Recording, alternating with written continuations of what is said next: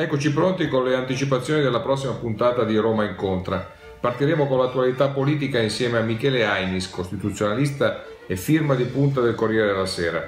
Lo faremo partendo dal suo ultimo libro in cui descrive dall'A alla Z il degrado dei rapporti politici e civili degli italiani. In questo alfabeto dello scontento non potremo non fermarci prima di tutto alla lettera G G come guerra e allora ci affideremo allo spessore giuridico di Ainis per capire se quella all'IS è una guerra senza regole e se il nostro sistema istituzionale è pronto per un coinvolgimento in prima linea, nella speranza che ci dica che non avremo bisogno di cambiare la Costituzione come la Francia.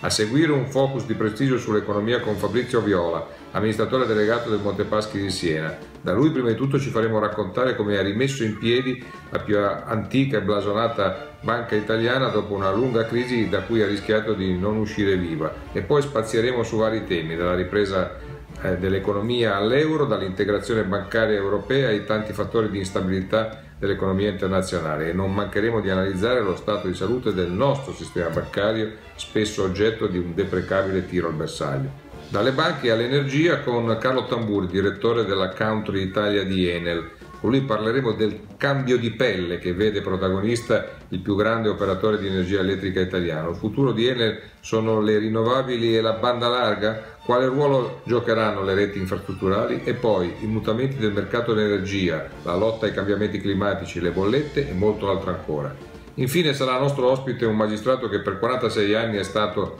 in prima linea contro mafia e terrorismo, Giancarlo Caselli, autore di un libro autobiografia in cui ripercorre, levandosi parecchi sassolini dalle scarpe, le vicende più scottanti che lo hanno visto protagonista, dalla lotta alle Brigate Rosse ai processi Andreotti e Dell'Utri fino al caso Notav.